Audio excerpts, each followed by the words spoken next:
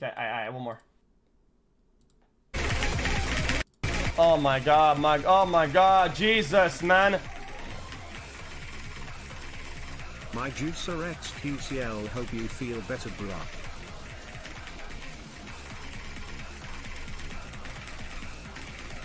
I thought this game was about training your fucking aim or some shit, man.